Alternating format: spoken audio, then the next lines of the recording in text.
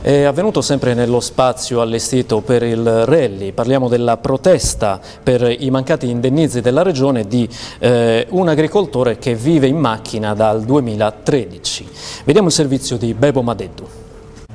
Il motivo è nel 2013 è venuta un'alluvione come è venuta in Romagna.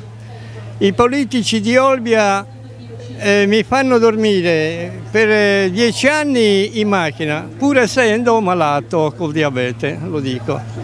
Circa 400 mila euro di danni. Ho 50 referti medici dell'ospedale perché durante l'inverno mi si gonfiano le ginocchia, dopo l'alluvione mi davano eh, i buoni pasto, 100 euro al mese. Eh, solo quello l'aiuto che mi ha dato il comune di Olbia. Io essendo muratore me la sono costruita io in tempo di 48 anni. Hanno tombato il canale di via Imperia e l'acqua è cresciuta e hanno fatto le vie sopra e l'acqua è cresciuta di un metro e mezzo. Concessione edilizia ce l'ho firmata dall'ingegner Zanda.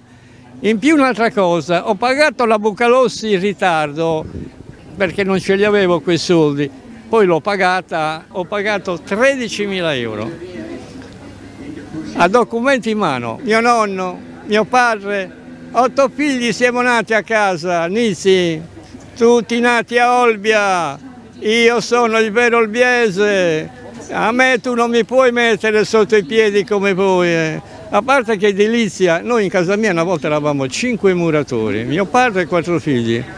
Pensi, io di edilizia me ne intendo molto più di te. E allora, e, no, e non chiudere i canali e fai le vie sopra.